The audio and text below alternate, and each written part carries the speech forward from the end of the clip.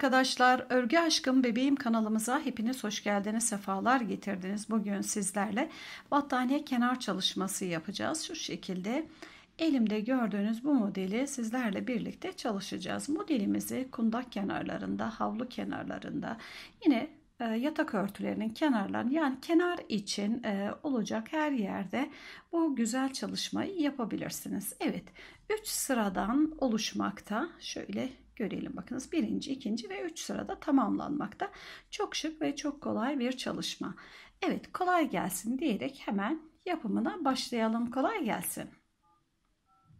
Köşeden başlayalım. İpimi alıyorum. Kısa tarafı üzerinden geçirip 1, 2, 3 tane zincir çekip hemen yanına 2 tane daha trabzan örüp 3 trabzan sayısına ulaştırıyorum. Ve 1, 2, 3 tane zincir çekiyorum. Burası köşe olduğu için aynı yere girerek 3 trabzan daha örüyorum. Bütün köşelerimizde böyle çiftli üçer trabzanlı bölümümüzü çalışacağız. 3 trabzan, 3 zincir, 3 trabzan olacak. Ve 1, 2 tane zincir çekiyorum. 1 trabzan atlıyorum. 2 trabzan atlıyorum. Üçüncüye batıyorum. 1 ve yanındaki trabzanı örüyorum. 2, 3. Eğer ipiniz çekecek gibi olursa 3 zincir de çekebilirsiniz. 1 2 2 zincir çektim. Tığımın başını bir defa doladım. Bir atladım, iki atladım. Üçüncüye batıyorum. Her birisi farklı trabzan üzerine batarak 3 tane trabzanım örüyorum. Şuradaki iki zincir eğer çekecekse üçer tane zincir de çekebilirsiniz sevgili arkadaşlar. Ben 2 çekiyorum. Bir atladım, iki atladım. Üçüncüye batıyorum. 1 2 ve 3. Bir, iki tane zincir. Evet şimdi iki tane motifimin birleştiği noktadayım. İki zincirimi çektim. Üç tane trabzan buraya, üç tane de buraya öreceğim. Aralarında yine iki zincirimiz olacak. Üç tane trabzanımı ördüm. Bir, iki zincirimi çektim. Yine diğer tarafa da üç tane trabzanımı örüyorum. Üçünü aynı yere bakınız. Evet şöyle. Yani bir motifte köşeyi saymadığımız zaman 1, 2, 3, 4 tane üçlü grubumuz olmuş olacak. Yine iki tane zincirimi çekiyorum. 1, 2, üçüncüye batıyorum. Her biri farklı trabzana üçer tane trabzanımı örerek köşeme doğru ilerliyorum. Ne kadar büyük olursa olsun battaniyemizdeki kenarımız bu şekilde olacak. 1 2 3 2 zincirli pardon. 1 2 üçüncüye batıyorum. 2 ve 3 tekrar 2 zincirimi çekip köşeme geçiyorum. 1 2 3 1 2 3 tane zincir köşemize tekrar 3 tane trabzan Şöyle görelim. Köşemi 3 tane trabzan, 3 zincir, 3 trabzanla ördüm. 2 zincir çekip 2 trabzan atladım. 3 trabzan ördüm ve bu şekilde örerek ilerledim. Motiflerimiz ne kadar çok olursa olsun hiç fark eden bir şey yok. Bu işlemlerimizin tekrarıyla başlangıç noktamıza kadar devam edelim. Bütün köşemizi örerek tamamladım. Şuradan başlamıştık bakınız. Bütün köşelerimizi aynı şekilde örerek Devam etti. Köşeleri çiftli ördüm. Diğerlerini 3 trabzan 2 zincir şekliyle ördüm. Ve birleşme noktasının bulunduğu yerdeyim. Bitiş ve başlangıcın olduğu yerde. Yine 2 tane zincirimi çekiyorum. Buradaki başlangıçtaki 3 zincirimin üçüncüsünün tepesine batıyorum. Ve ilmeğimi şöyle kaydırıyorum. İkinci trabzanımın tepesine batıyorum. İpimi alıp ilmeğimin içerisinden kaydırıyorum. Üçüncüye de aynı işlemimi yapıyorum ve bu e, kenarımızın ikinci sırası olacak. Zincirimin içerisine girip kaydırdıktan sonra 1, 2, 3 tane zincir çekip yine buradaki gibi 3 tane trabzanım örüyorum. Zincirim de dahil 2 oldu.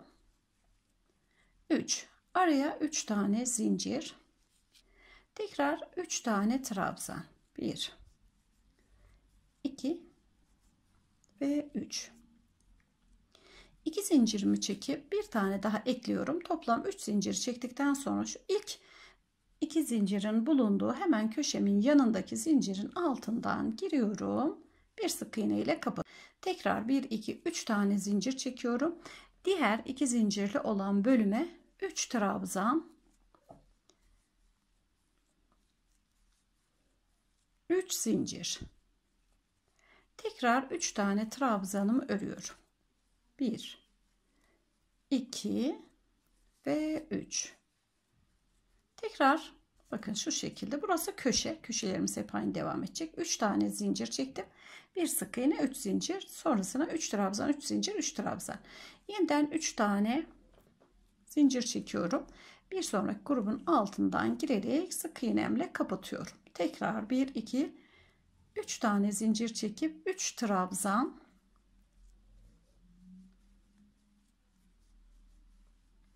3 zincir. 3 trabzanımı örüyorum. 3 tekrar 1 2 3 tane zincir çekip bir sonrakine sık iğne ile gelip batıyorum 3 zincirimi çektikten sonra bir sonraki yuvaya yine 3 trabzanlı grubumu örüyorum. Şöyle görelim. Bir tanesi sık iğneli bir tanesi üçer trabzanlı grubumuz Uçtan başladığımız ya köşeden başladım. Diğer köşeye kadar bir sık iğne bir trabzan grubu olarak ördüm. En son köşemin yanındaki bölüme yine sık iğne ile batıyorum. 3 tane zincirimi çektikten sonra yine köşeme 3 trabzan 3 sık iğne 3 zincirimi çektim pardon sık iğne değil zincirim tekrar 3 tane trabzanımı örüyorum ve yeniden 3 zincir şöyle görelim köşemi oluşturdum 3 zincir hemen yanındakine altından girip sık iğnemle kapatıyorum 1 2 3 tane zincir ve 3 trabzanla bölümlerimizi örerek başlangıç noktamıza kadar ilerliyoruz İkinci sıramızın sonuna kadar gelerek tamamladım. Şimdi yeniden başlangıç noktamızdayız. Bakınız şimdi şu an şöyle bir görüntü olacak. Evet şimdi üçüncü sıramıza geçişimizi yapıyoruz. Sık iğnemizi battım. 3 zincirimi çektim. Yine 3 zincirin tepesine gelip ilmek kaydırıyorum. İkinci trabzanıma batıp kaydırıyorum. Üçüncü trabzanımızı yine kaydırdım. Zincirimin içerisine girdim. Geçişlerimizi hep bu şekilde yaptık. Bu son sıramız o yüzden kirpik çalışacağız. Ya da pipirik diyelim nasıl isterseniz. 2, 3, 4, 5, 6 tane zincir çektim. 1, 2, 3. Üçüncüye gelerek batıyorum. İlk pipiriği bu şekilde oluşturuyorum. Tığımın başını doluyorum. İki defa da çektiğim trabzanımı ördüm. 1, 2, 3 tane zincir çekip arkasına boşluğa batıyorum. Tekrar bir defa dolayıp tepeye giriyorum. 1, 2, 3 boşluğa batıyorum. Boşluğa bakınız herhangi bir yere değil. Dördüncü ve son kez örüyorum. 1, 2, 3 batıyorum. 4 tane trabzan ve tepelerine 4 pipriğimiz yeterli olacaktır. Şimdi diğer tarafa geçiyorum. Zincirimizi çekelim. 1, 2, 3, 4. Diğer sık iğnemin üzerine gelerek batıyorum. Altta 3 tane çekmiştim. Şimdi 4'e çıkardım. Tekrar 1, 2, 3, 4 tane zincirimi çekiyorum. Tığımın başını dolayıp ortaya giriyorum. Bir tane trabzanımı örüyorum. 1, 2, 3 zincirimi çekip arkasından şöyle bak. Burası ipim koptuğu için bağlamıştım. Arkasından şu şekilde batıyorum. İkinciyi örüyorum. 1 2 3 tane zincir ara boşluğa yine batıyorum. Tekrar üçüncüyü örüyorum. 1 2 3 zincir batıyorum. Dördüncüyü aynı şekilde yapıyorum. İkisini bitirdim. Şimdi üçüncüye de birlikte geçelim. Yine 4 tane zincirimi çekiyorum. 1 2 3 4. Sık iğnemin üzerine batıyorum. 1 2 3 4. Tığımın başını dolayıp bir tane trabzan, 1, 2, 3 zincir şöyle arkasına bakın. Biraz önce bağladığım için e, gösteremedim. İçim rahat etmedi. Sonrasında ikinci trabzanım 1, 2, 3 ara boşluğa. Herhangi bir yere değil. Bakın ara bomboş direkt gelip batıyorum. Üçüncüyü örelim. Tekrar 1, 2, 3 zincir ara boşluğa batıyorum. Ve 4. 1 2 3 şöyle batıyorum 1 2 3 4 sık iğnemin üzeri bu şekilde devam edelim Köşemizin birinden diğerine kadar geldim. Yeniden köşemizdeyiz bakınız. 3 tane 4 tane zincirimi çektim. Aynı işlemimi buraya da tekrar ediyorum. Hiç farklı işlem yapmıyoruz. Tıpkı bu ara geçişlerdeki işlemin birebir aynıyla örüyoruz. Bütün köşelerimizi örerek tamamladım. Şimdi son birleştirme işlemini de sizlerle birlikte yapalım. Yine 4 tane zincirimi çektim.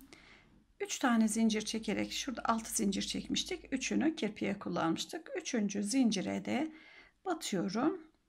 Geçiriyorum ve bir tane zincirimi çekip düğümümü atıyorum ve ipimi buradan keserek köşe işlemimi bu şekilde tamamlamış oluyorum. Şöyle bakalım bakınız battaniyelerde, havlu kenarlarında dilediğiniz her yerde bu modeli kullanabilirsiniz. Evet sevgili arkadaşlar düğümümüzü attıktan sonra ipimizi de kestik ve bu şekilde çalışmamızı tamamladık. Şöyle ne kadar hoş bir görüntüsü oldu bakınız. Beni izlediğiniz için hepinize çok çok teşekkür ederim. Yeni çalışmalarımızda yeniden görüşmek üzere. Hoşçakalın, mutlu kalın.